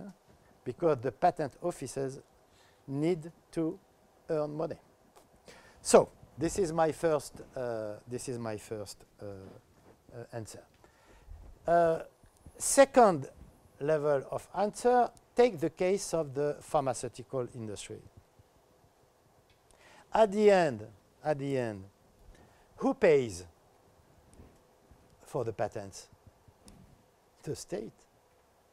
Because uh, the uh, uh, social security insurances in countries in continental Europe, maybe in the United States, in, in England, it's different. Uh, uh, at the end, it's the state that pays uh, uh, uh, for the drugs, the reimbursement. So, if the state is able to promote a generation of drugs without patents, he will economize a lot of money, a lot of money, much more than the money he has to invest to favor, to favor the, the, the, the uh, uh, empowerment and the development of such uh, community of innovators. So it's a very good deal for the state to favor these groups. He's losing, uh, losing nothing. On the contrary. Um, name is ah okay. um, my name is Joel. Um, going back to Christopher and some questions, I was thinking that even if there is money to pay for the commoners, and even if there is money to pay for the research, what I was thinking is, is it possible to like break the already created legal system in real core business like well you mentioned the, the pharmaceutical industry also the energy industry because the, the example you gave um, him is it's a drug that it's mainly for i think uh, for, for poor people. So is it possible to uh, use the already creative uh, patents in the old system to for diseases such as cancer that are for really rich people My answer is the following. Uh, why, the reason why I, uh, I am so much involved in this stuff, as you can see it, is exactly because I think that you never need to break anything. You just favor new things. And the development of the new things will, at the end, if it's successful, destroy the old system. You see? So uh, it is exactly because you don't need to destroy anything, just favor the new emerging thing that I believe in it. Because uh, uh, uh, at the end, it's the pharma industry, for example, or, or any other ones. uh, uh, take the case of Wikipedia and uh, Encyclopedia Britannica. no one attacked in any manner Encyclopedia Britannica. People just contributed to the uh, enrichment of uh, Wikipedia because it was a very convivial, very easy, uh, uh, uh, costing zero, and at the end we destroyed the old private institution. Something of that kind can happen even with the pharma industry, yes, yes, and many other institutions. You understand? I, I mean, I understand, but I also understand that the lobby capacity of the pharmaceutical industry or the, or the energy industry is not the same as the Encyclopedia Britannica. But so the no, no, uh, but the thing would be um, that, for example, take the cancer. So you wo- you would never be able to use all the already created research of Bayer or, or other industry so you would have to like start from the really beginning that's no, no. that that was what i No, was no, no, it's not true. It's not true. Uh, we need uh, a series of classes on the pharma industry that I will give in January. You are welcome. uh, first of all, you have to uh, understand that uh, what pharma industry is doing is not research. Pharma industry is doing clinical trials. That is to say, using existing molecules, basic research, invented in the hospitals in the public domain. Most of them, most of the, when I say most, 95% of the molecules used by the pharma industry come from outside the pharma industry. The job of pharma industry is clinical trials, that is to say, acclimate and try different doses and all that uh, uh, uh, of, of, of, the, of, the, of, of the molecule. Okay? And most of the time, let me tell you that the best clinical trials are done in hospital by the public sector. The other ones are done in uh, uh, countries of Africa, Asia, with no control. I really prefer the clinical trials done in hospitals, in public hospitals. Just to say that at the same time, there is an enormous power of the uh, pharma industry because of their money, their network, and all that. And at the same time, they are very fragile. They are very fragile. So, an organization pushing uh, uh, of uh, developing uh, basic research in networks of hospitals and organizing clinical trials inside the public sector, which was the case and is already the case for the uh, good ones, uh, can create enormous problems, even if the pharma industry is not Encyclopedia Britannica. Take care. Take care. My name is Iwana. Um, I wanted to ask you you mentioned that um, as you give an impetus to something, this will destroy the old system Yeah. automatically without you being very involved in that. But at the same time, we have the interesting case of Germany in which the government tried to stimulate innovation in a sense, but since the country is very institu- institutionalized, it never reached very high levels of innovation. And at the same time, we have Israel, for instance, that um, never received a lot of support from the government in innovation, but is a highly innovative country. So, do you think this is very cultural specific, very um, region specific? Mm. Thank you. two, two, two or three things. First, I'm not saying that at a certain point you will not have to destroy all things. Certainly, at a certain point, we will have to destroy all things. But we can destroy these old things only when we have credible solution working. Otherwise, you will never, and it's not wise. We have to use what we have. Okay. So, first of all, yes, at a certain point, it will not purely disappear by itself. You- we will have to push a little bit. First of all. Second, uh, uh, uh, the case of Israel that I know a little bit It's not true that the state, the state is not helping. Uh, uh, Israel is one of the countries most innovative in the world uh, in terms of uh, venture capital and all that. Why? Why? For two reasons. The first reason is the state is investing incredibly in basic research through the army.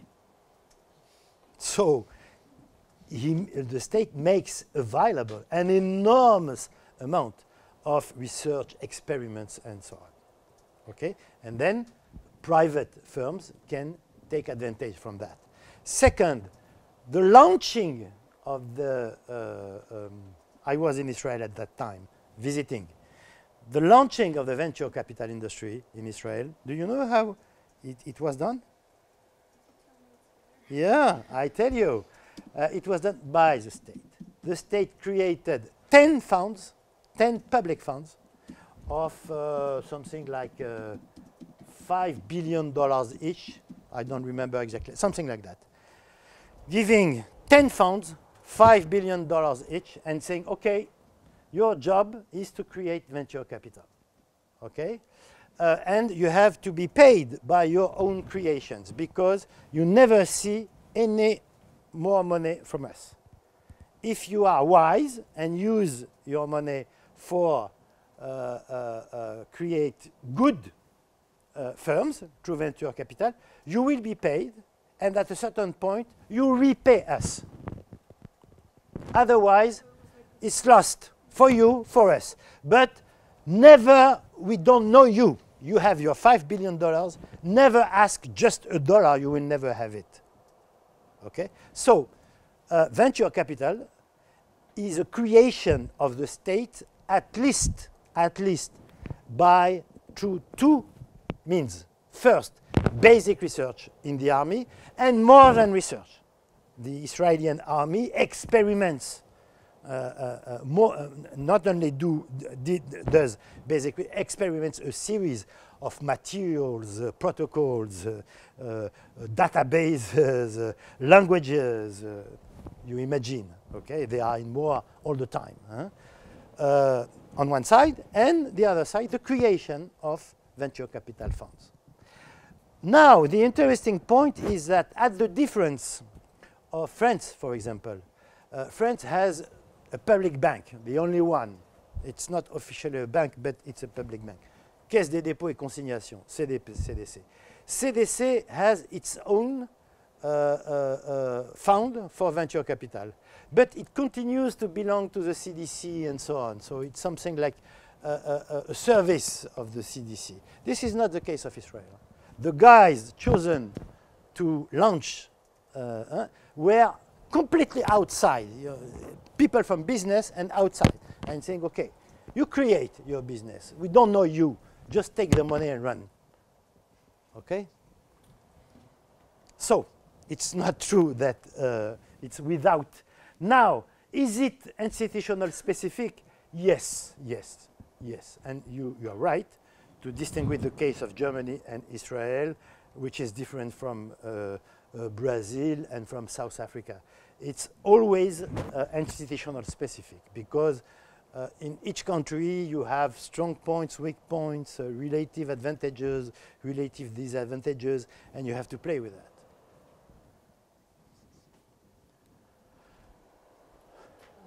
my name is Erika. I have a question concerning the legal framework of patents, and in particular, you, you mentioned before the COP21 conference Yeah. and the paradox of developed countries blaming developing countries for polluting the planet, while uh, the majority of the green technologies for productions are patented. So, since this uh, environmental issue is becoming bigger and bigger, I was wondering whether there is any sort of supranational institution which can somehow force patented technologies to be partially given or licenses to be given maybe with uh, discounted prices in these special cases where it is obviously a business but it is also concerning the, the Future of humanity, yeah. Hmm. Uh, I really would like uh, to have such an institution, but it does not exist. huh? Uh, for the moment, uh, you have uh, national systems, national laws of patenting, and an harmonization controlled by uh, uh, W. um, uh, comment ça s'appelle l'OMC hein? WTO, World Trade Organization. And on the contrary, on the contrary, uh, WTO plays the role of maintaining a strong patent system, protecting the firms. On the contrary, okay. Now, uh, in the COP21 or COP22, because we are already speaking of COP22, because it's uh, more or less clear that uh, COP21 will fail. I give you the announcement with some antecedency. antecedency. Um, they can decide to open some clean technologies uh, to uh, uh, uh, thousand countries. They can decide that. For the moment, it's not absolutely the case. Okay, but uh, if uh, we pretend to find a solution huh, to climate change and so on, which I think is something we absolutely need to do, of course, of course.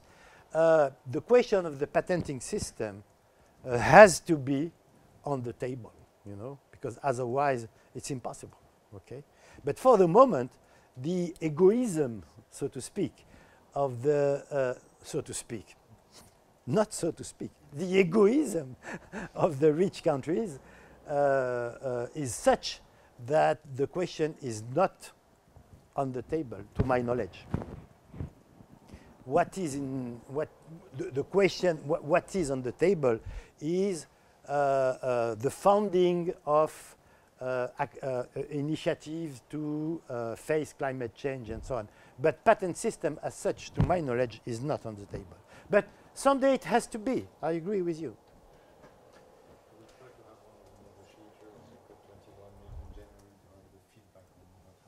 Yeah, yeah. Um, I was just wondering on the uh, patenting of publicly funded research, is that a European phenomenon as well, or is that just in America right now? The the the changing frontiers. Yeah. Yeah. Yeah. No, no, no, no. Unfortunately, it it uh, uh, it, it began in the United States, but uh, it has diffused to Europe. Uh, in the case of Europe, it's interesting because you had a tentative uh, to not to accept these changes uh, uh, from uh, lawyers uh, uh, uh, and so on. And at the end, it was something like a battle between the European Commission and the Parliament. The European Commission was strongly in favor of the American uh, system, so to speak, and the Parliament resisted, especially as regards uh, the patenting of software. The Parliament two times refused the proposition from the Commission. You have to understand, for those that do not how the European Union function, that we have a specificity in the European Union. Uh, the prerogative to uh, propose new regulations and laws uh, is in the hand of the Commission. That is to say, the Parliament does, does not have the power to propose uh, uh, uh, um, uh, a new regulation, a new law. The Parliament has not this power. The power is in the hand of the Commission. Okay? So the Commission is, is, is the strong actor between the two. But for certain decisions, directives, and so on, the, uh, you, the, the, the Commission can decide alone, but for other ones, it has to be accepted by the Parliament. It happened that for these issues, copyrights on software, on living entities, uh, the Commission needed the uh, uh, support, the approval of the European Parliament. The European Parliament was in the beginning very reluctant, very reluctant. But at the end, he more or less accepted the uh, American law, so to speak. Uh, the case of the uh, European um, directive on um, uh, innovation on living entities and biotech is a summum, a summum of hypocrisy. Because Article 5, you can verify this huh, on, on internet. Article 5 say, living entities are not patentable matter. Okay? Finished. Artic Article 5.1 say, says, uh, uh, the code of living entities uh, obtained through uh, scientific analysis is patentable. it's incredible. But this is a result of the battle uh, between pro and, and, and contra. But in fact, in fact, uh, the, the American law uh, uh, uh, won the battle. What is happening is that it seems that in the US, some courts and some actors behind the courts, huh, some, some lobbies, are now thinking it was a mistake to patent uh, living entities and so on. And you we have some rulings going back, going back, limiting the scope of the patentability for living entities. And now it is an open battle. It is an open battle. B bon, are you, are you American? Yeah.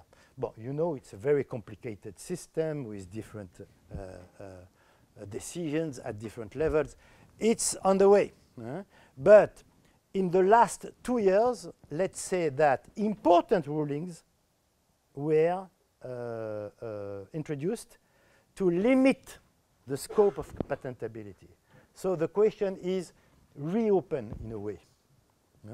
Uh, but uh, well, nothing, nothing clear is done.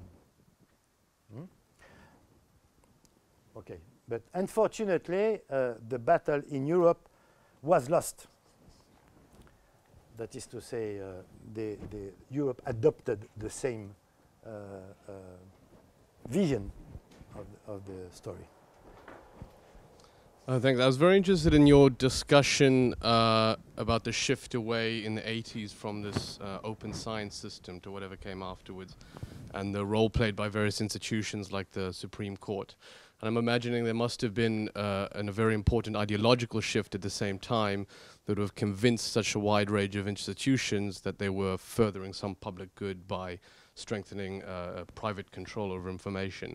So I'm wondering if that's the case, if you can talk particularly about the role of um, economics in that, in that ideological shift, and if there'd been big changes from what you talked about earlier of, uh, of Arrow's conceptualization of, of property rights and things. Yeah, you have a series of uh, factors and forces behind uh, this change. Uh, remember that uh, we are back to the Reagan era, beginning of the 80s. Huh? So uh, end of the 70s, beginning of the 80s. So first background is the Reagan uh, uh, view, huh? the, the, the, the, the, the, the, the moment where the neoliberal wing won the power. So this is the general background. Uh, in details, I mentioned one thing. Uh, if you read, if you read what I did uh, the uh, um, um, hearings of the Congress about innovation, because in that period, the United States were in very difficult situation, very difficult situation. It was the period of the twin deficit, of the uh, uh, foreign trade and of the budget and so on. It was the period where every book written in America had the title regaining our competitive edge, uh, uh, and so on. It was the period of Japan bashing. You know, it, this is this is a period we are uh, uh, focusing on. So, if you if you read the readings, the hearings of the Congress, you can which which, which you know the, the, the the passing of a law in, in, the, in the US is a serious thing, huh? much more serious than what we have in Europe. Huh? What we have in Europe is just uh, the majority of the belonging to the president votes and it's finished, you know. In the US, it's very different. It's discussed in detail huh? because you have uh, heterogeneity in different groups, even the same party, and so on. So, if you read the hearings, you can see that uh, the consensus uh, of uh, uh, the, the, the, actors is okay, we are in poor conditions in, in the US because we are attacked for high technology by uh, Japan, to a certain extent, Germany for standard high quality goods, cars and so on, uh, by, for, uh, on aeronautics, uh, civilian and uh, military Europe, Airbus and so on, and for low-tech sectors by Brazil, Taiwan, and so on. But there were two strong points. Two strong points based on huge American investment on basic research, which is IT and uh, uh, um, uh, biology. Huh? Bon. And the idea was, okay, if we erect barriers on that basic knowledge, we maintain it in the US, in the hands of US firms. This is what is behind. Clearly, this is what is behind. And it was a success, because if you look to the competitive sectors of the US uh, today, apart from uh, information technologies and biotech, there is nothing in terms of, of uh, uh, exports and imports. Okay? So it was a success. For, for, for the point of view of the state policy, it was a success. The third element, I have not mentioned it, is that uh, the uh, government wanted to diminish its subsidies to the universities. So he wanted to create sources of revenues for universities.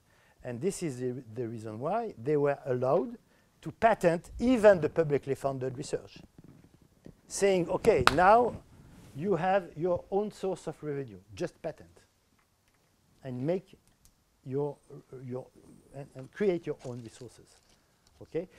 Uh, it happened that it worked, but only for few universities. That is to say something like, uh, I think, eight universities, the big ones, uh, Harvard, Stanford, MIT, uh, and so on, uh, the big ones, uh, they realized something like 85% of the revenues of the patenting of the university. They are concentrated in eight universities. So it has worked for the powerful universities, but not for the others. These are more or less the elements behind, you see.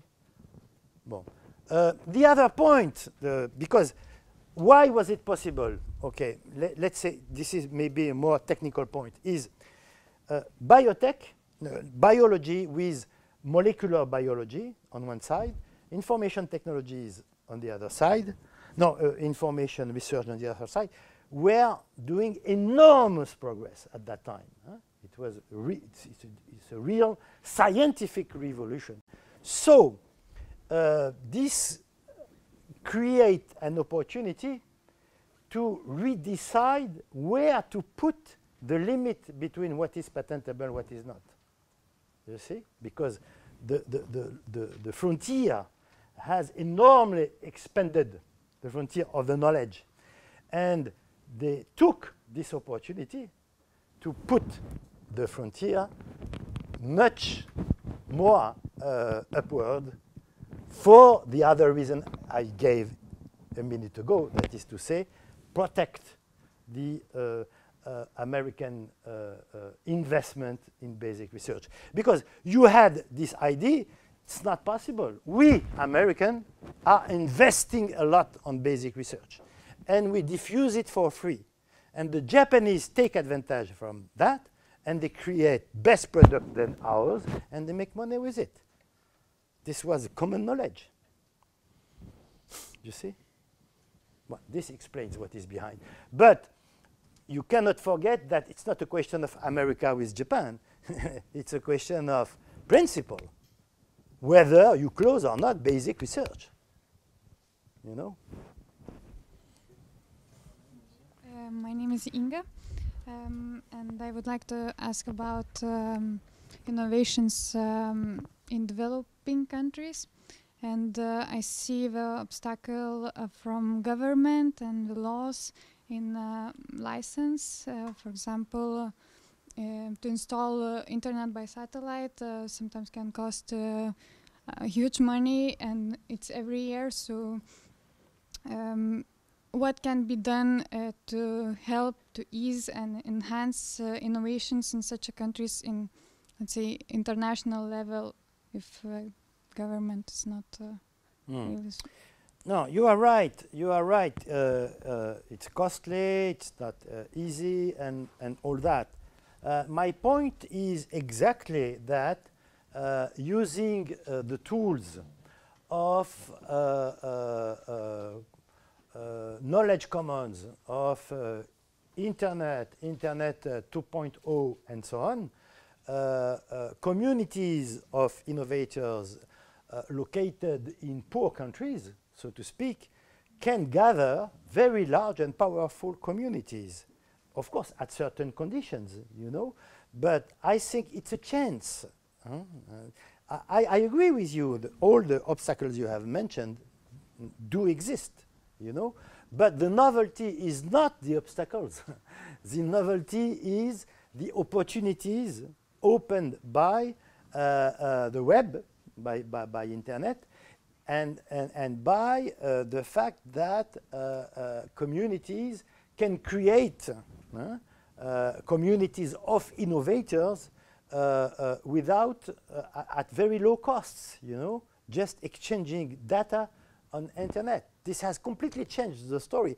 Uh, Linux, Linux uh, is possible because internet, you know.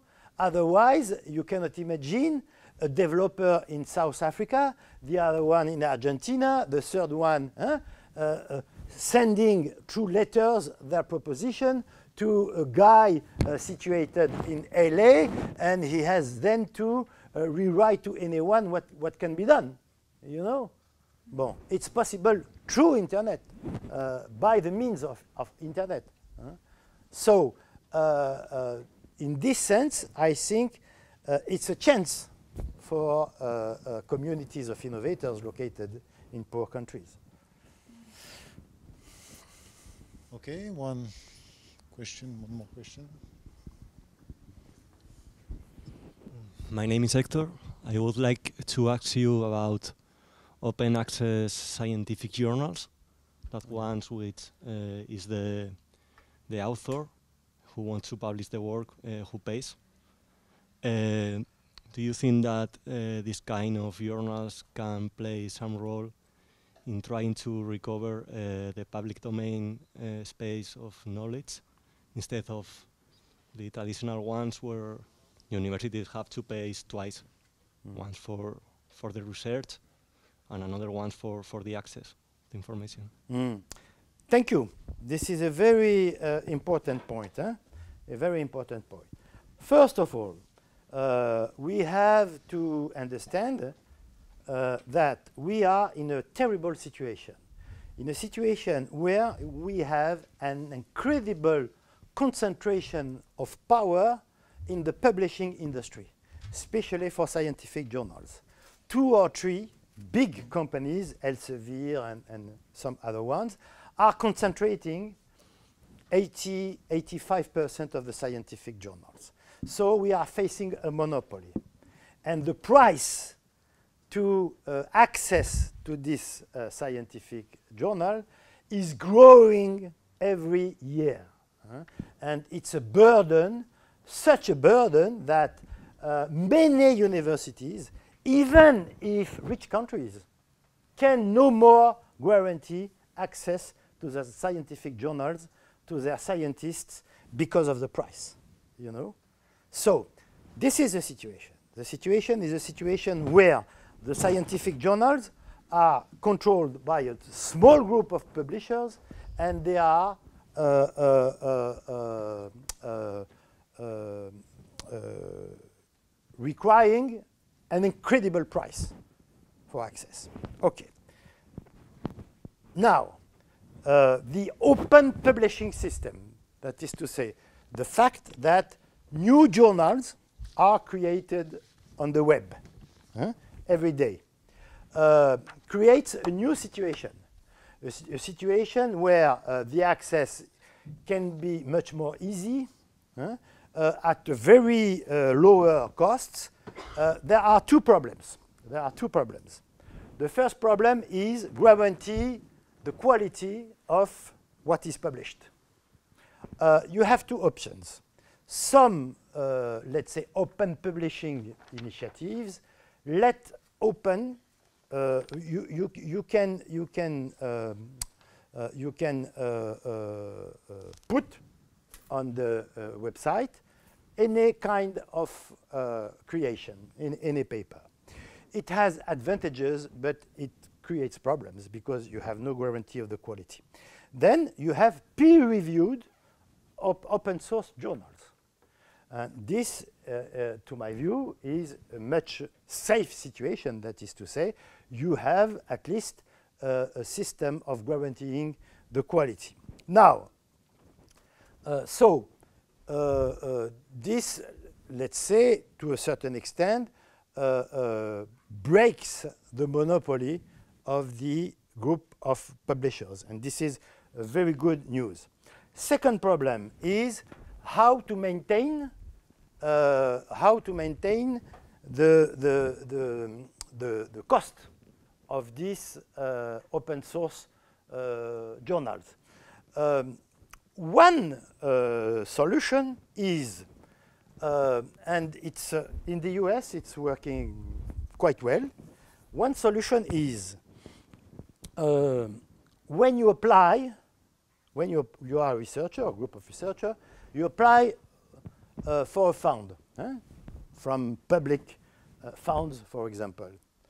Uh, the, the rule is more and more you introduce you introduce in your demand of funds, fund for researchers, fund from, for uh, equipment, for materials, for computers, for to buy databases, and you introduce uh, uh, a few, a, a, a low percentage, 1%, dedicated to finance the online, online journals on which you will apply for your publications. So it's a very good situation. It's a very good because it creates. It, the question is, how can we pay the commoners? This is one way. Okay, through the public funds, we introduce a low uh, percentage dedicated to the journals you will uh, uh, apply to publish the result of your works. In certain cases, this is an interesting point. huh? This is an interesting point. The NIH, huh, National Health uh, Institute, uh, uh, in the US, that are very powerful agencies in charge of piloting the research on, on health issues. In the beginning, in the 70s and the 90s, they were applying for patenting uh, uh, uh, um, genes and uh, uh, living entities. They have, it was incredible. Huh? We were very surprised. Huh? I am older than you, so I was already alive in the 80s. Uh, uh, we were very surprised to see a public agency applying for private uh, patents on, on, on living entities, entities. And it has played a role huh, in changing the rules for the USPTO, etc.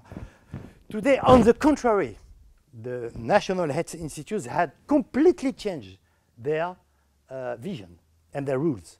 And on the contrary, one condition to benefit from a grant from uh, uh, um, the National Health Institute is you compromise to make the result of your research publicly available. They have completely changed their, their, their, their way of, working. Okay? And uh, they give you some uh, money to pay the uh, public, the, the, the uh, open publishing websites where you will publish your results. So you can embed in a way huh, uh, with the research the conditions to uh, uh, um, uh, guarantee the surviving in good conditions of the open publishing websites, okay, through the funding of the research itself. And uh, the whole system is at, at the same time much less costly than the existing system because these websites do not uh, uh, uh, extract the same level of rents than the, op- the, um, the, the, the, the journals in the hand of the publishing groups. So less costly and publicly available, publicly available because these journals are on open source. So it's a much better solution if you consider access and cost.